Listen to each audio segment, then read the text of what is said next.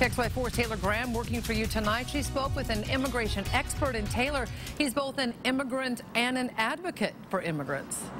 Yeah, that's right, Nadine. Hector Quiroga came to the United States from Colombia, then studied law at Gonzaga University, became a citizen in 2007, and now he's helping others to do the same. He says there are a few misconceptions surrounding this separation policy, so he sat down with me today to break them down.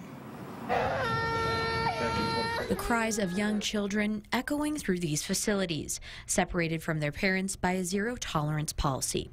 Now, those who cross the border illegally are being taken away from their kids or then sent to spend their days in rooms like this.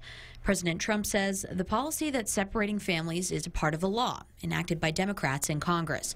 Immigration lawyer Hector Quiroga says that's not the case. The zero tolerance is, I think, is overbroad, is being pushed to an interpretation that was not given before.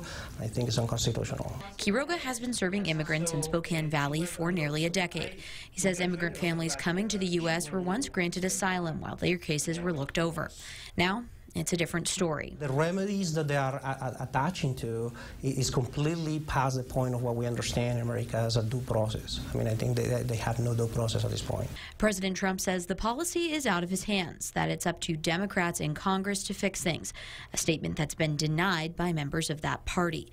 But Quiroga believes the blame should be placed on both parties. I mean, in a way, uh, we have been trying to get immigration reform for, for many, many years. And I do think that it is certain truth when it comes to it's been both sides that have not been able to pass a, an actual, a better system than this.